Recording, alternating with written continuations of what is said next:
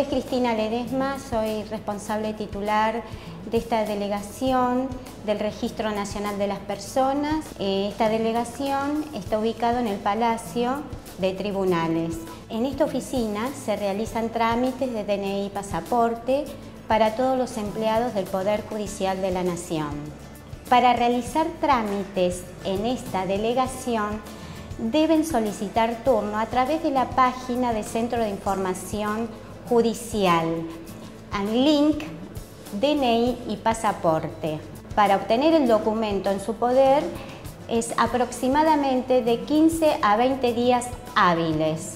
El trámite en sí es inmediato, son 10 minutos, en la cual puede estar ocasionado con un, un poquito más de demora porque va por orden de llegada.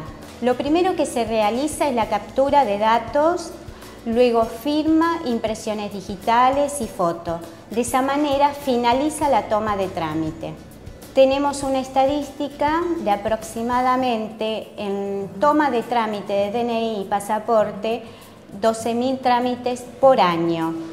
Los requisitos para iniciar trámite tanto de DNI como pasaporte deberán presentar el documento o el pasaporte que tienen en su poder. En caso de extravío, no es necesario presentar la denuncia de extravío, pero sí sería importante de que presenten una fotocopia de DNI o pasaporte extraviado si de alguna manera lo pueden localizar.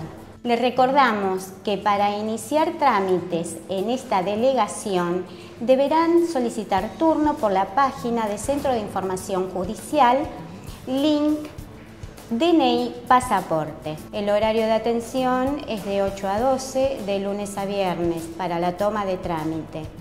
Esta oficina, que funciona en el Palacio de Tribunales, es exclusivo para iniciar trámite todos los empleados del Poder Judicial de la Nación.